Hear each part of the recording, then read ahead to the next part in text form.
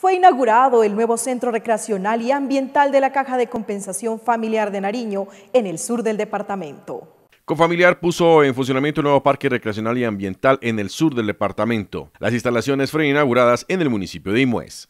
A partir de mañana sábado ya pueden venir, pueden conocer, disfrutar de nuestros juegos interactivos, de las diferentes canchas múltiples, de los escenarios que hoy por hoy los hemos habilitado.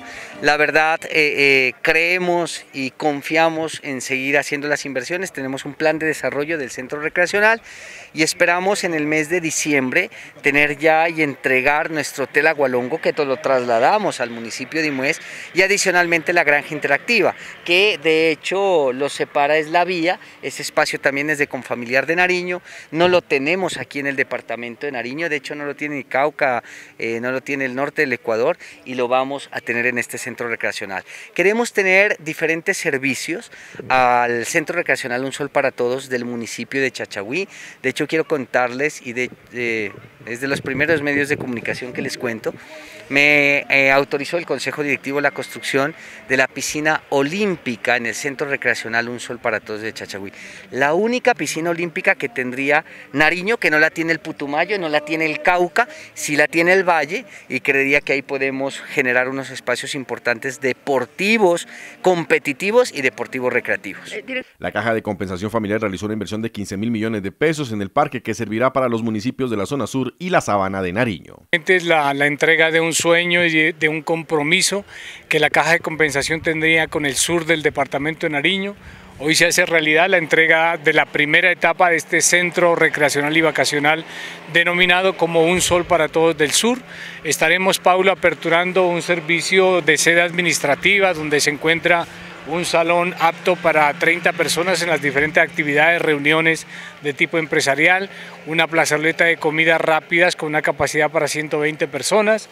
Estaremos habilitando la zona del polideportivo, Paulo, se ha diseñado dos losas deportivas, dos polideportivos para la práctica del deporte tradicional de microfútbol, baloncesto, voleibol. Hemos habilitado igualmente eh, la zona de piscinas, donde tenemos una piscina semiolímpica de 14 por, por 25 por 1.50 de profundidad, una piscina infantil y la correspondiente canaleta de tobogán de 94 metros. Varios alcaldes del sur de Nariño acompañaron la inauguración oficial del parque, destacando la inversión de la caja y la atención a la ciudadanía. Para los que habitamos en la subregión de la Sabana, este espacio significa eh, una fuente de trabajo, una fuente de comercio, una oportunidad laboral para mucha gente que no solamente vive en el sector del municipio de Inmuez, sino para quienes habitamos en la subregión en general. Y por supuesto se convierte también ya en una puerta de entrada hacia el suroccidente del departamento y esto genera también eh, beneficios económicos para la región. Para los tuquerreños, por supuesto, será también una zona de distracción, de entretenimiento, de diversión, de salir de la monotonía eh, y de una u otra forma se convierte también este espacio eh, en lo que el referente de, de grandes empresas y el crecimiento de nuestra subregión, de los cinco municipios que hacemos parte de esta subregión de la Sabana, Imuez, Apuyes, Guaitarilla, Ospina y Túqueras. Por eso, digamos que recibimos con beneplácito este espacio recreativo, de diversión, de deporte, de entretenimiento para el beneficio y el goce de los que habitamos en esa subregión de la Sabana. El director de la caja dijo que se habilita un porcentaje de la capacidad total del parque, en igual de condiciones que los otros centros recreacionales en todo Nariño.